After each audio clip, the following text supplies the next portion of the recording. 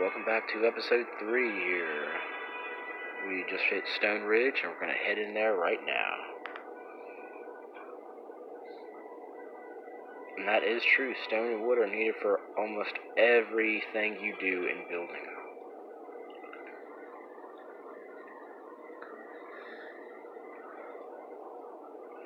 So the map, every location is set up just like your own base. If you walked around the edges of your map, you'll see it's just exactly the same. There's a lot more trees and rocks and a lot of other cool things. Before you get started, though, you should always check out your daily quest to see if what you need to do. You can get a free refresh only one time a day throughout all these. So, I want to be careful about what you do. So it looks like the only thing that's going to stop me is crafting a belt but let me double check here just to make sure.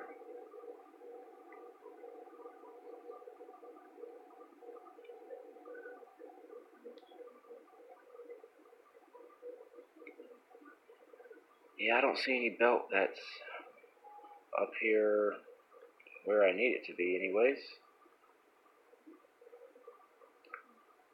That might be in one of the buildings to craft in.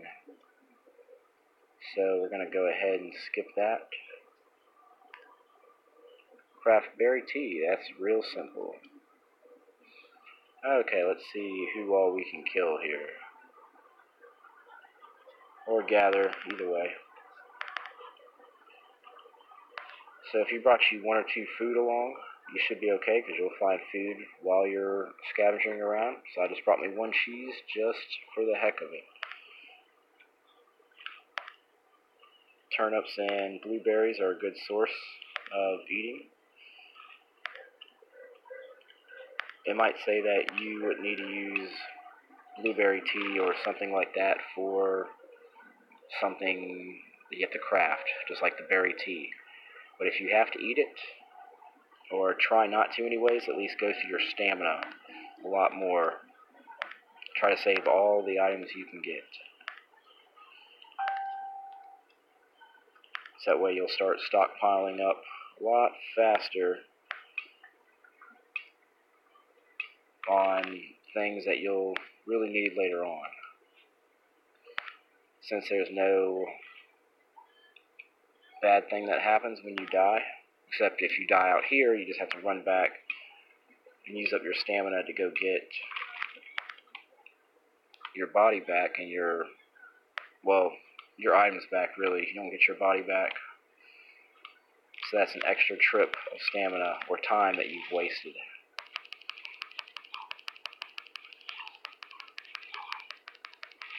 Another cool thing, you'll see that it was attacking for X amount of damage if you go look at your weapons or anything at the bottom right under your character, it's 6 attack. But if you do the sneak attack by crouching up behind something, you'll do 12 attack. So once they aggro you, you cannot get that double thing back. It's like just a surprise double attack.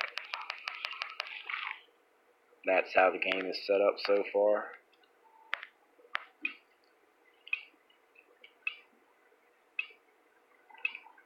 So once you have a full inventory,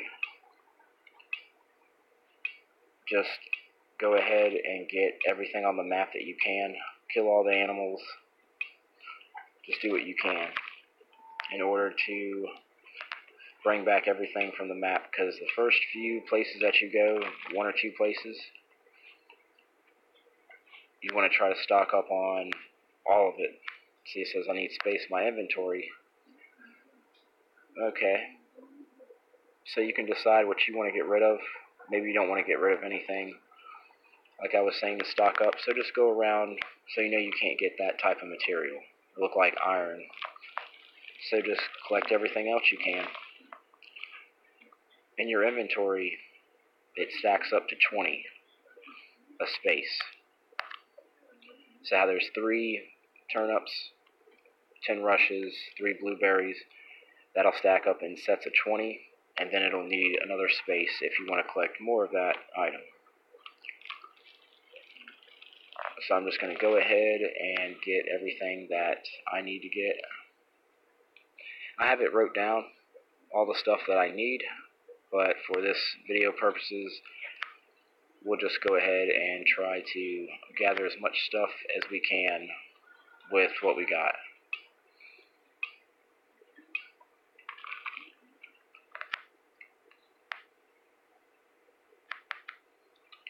So it looks like I'm full I'm full up on rock. You can see 20 rock right there. Okay. So can't do anything with the rock anymore, but it does give you experience points every time that you hit something. So if there's a place that you can store some stuff in, there might be a chest somewhere.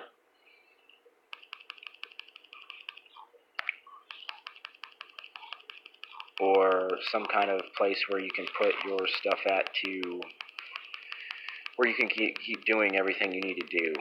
And so on your second return, all you have to do is just pick up and go. Ah, like this right here is a barrel right on this map. Just like a chest.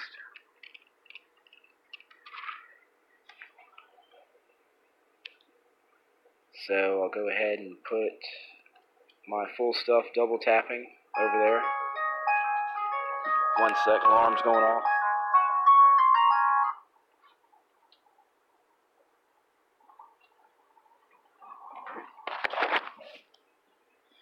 Okay. Um,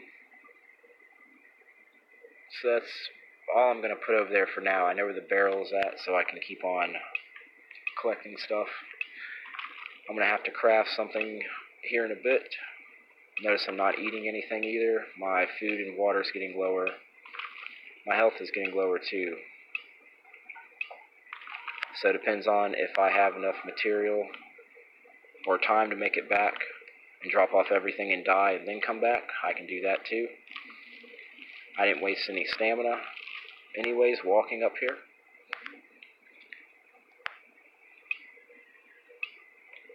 So all you need is is time basically.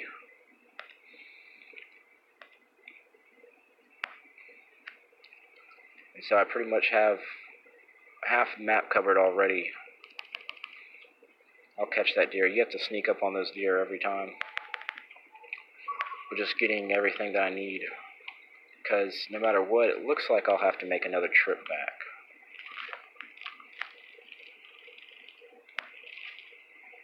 Even though from what I have wrote down and what I have stacked up at the base right now, I won't have to make the trip back. But like I said, just for these purposes here, these will give you good tips and tricks on what to do when you're out in the field starting out. If you happen to stumble across this video here and actually follow up. Ah, so I broke my pickaxe there. See if I already got what I need in my inventory. Yeah, I can do it. Got 20 logs, 14 rock. Go ahead and craft another pickaxe here. I can continue on.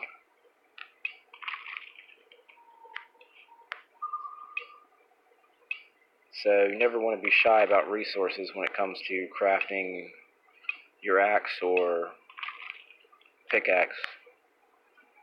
You're definitely going to need it. So I've hit 20 food and 20 water, so I'm going to have to watch out now. Even though your health goes down by one every two seconds. So I got a good amount of time as long as I can make it back to my map before I die. That's the main thing. Because you can pick up your bag anyways. But like I was saying before in the other video, it's always good practice to put all your stuff away. Because you never know if the game is going to glitch out. Or your bag might disappear, so all this hard work that you've done could go away. Definitely don't want that.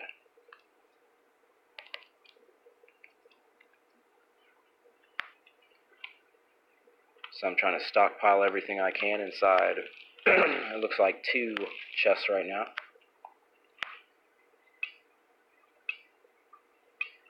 Then I'll go back to one, or if I'm filled up, and I will take it back to the base and come back and get what I can.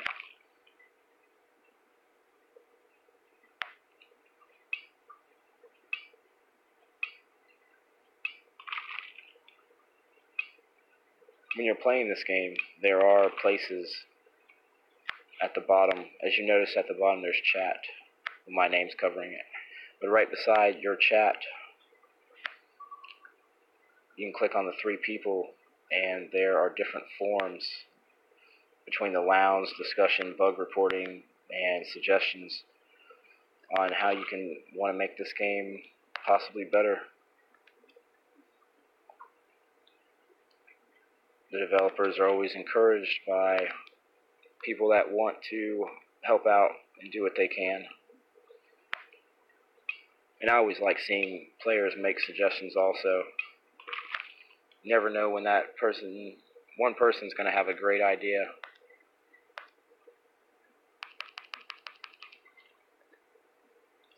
So at the bottom left there is an auto button as you can see, I didn't move the mouse that time, and he'll go around collecting everything that's on the map that's left once all the enemies are defeated. If there's still things to hit on the map, it will not do it.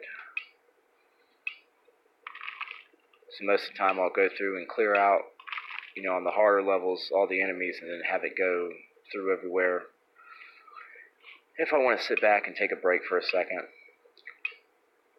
And this thing is optional, so you're not going to auto every time, everywhere. So it still gives the player, you know, the freedom to do what they want without having the game tell it what to do. So it's saying there's nothing left to collect. Okay. So it looks like we're going to have to get out of here soon. Let me go check on the other barrel. It's around here somewhere. There we go. Okay, we'll have to remember that. Took what we can from there. Take what we can from there. Head off the map here since I'm dying now. Everything's collected, everything's hit. You got the most experience points you need. And we'll go home and walk, and the next episode we'll drop off everything and uh, run back and grab the rest. But we'll finish out this episode and drop off what we needed.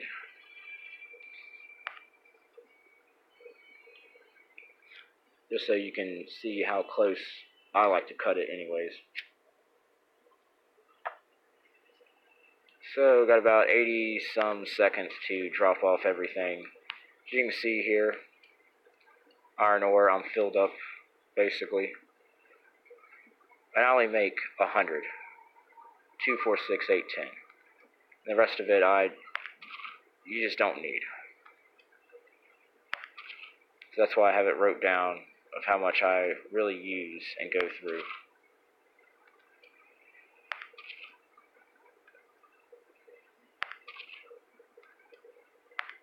I'm gonna do a double check right quick. Okay. So this other stuff I'll just get rid of because you can find that almost on every map. It won't matter. You'll get it again. Don't worry.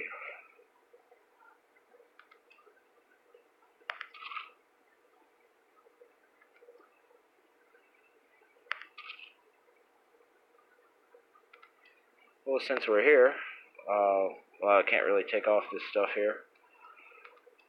Just make sure all my things are filled up here. Oh, need some rock.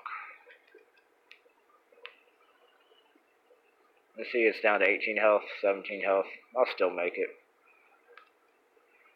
Not worried about it at all.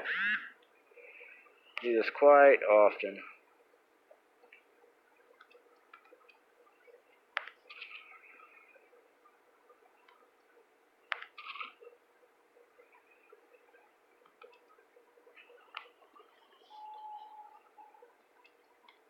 And we can start destroying stuff here.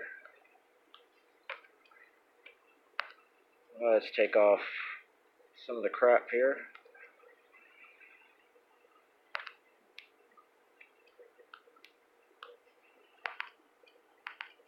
One thing is, you need to take off that bag every time. See, I'll show you right here that I'm going to die. This is strictly for the video purposes as well. We're going to respawn. Now, I happen to respawn on top of my water well for some reason. You'll go right back into your base.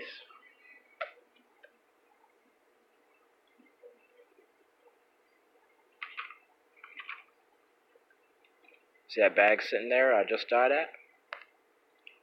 I have nothing on me right now. Everything's sitting right there. Now, if you want to take the chance, you can always leave an item in there, and this can be a really big storage container. But I just do not trust what the game could do. Things always could go wrong. And all these other items right here, I don't even need them. Because I have plenty more. I can keep crafting as much as I want. I run low a little bit. Well, I can make it again and go back out to an easy level and just restock up. And see that I died. Food's back up. No curse right beside the stamina up there, beside that 60, full health. I didn't lose a thing. Didn't spend an item. so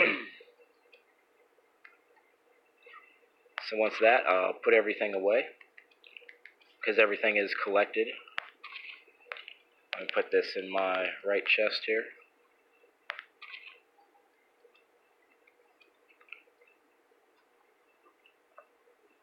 Everything's collected, so in the next episode we'll go get the rest of the stuff and put everything away. Then we'll take a look at one or two other buildings here. Stay tuned for episode 4. Thanks for watching.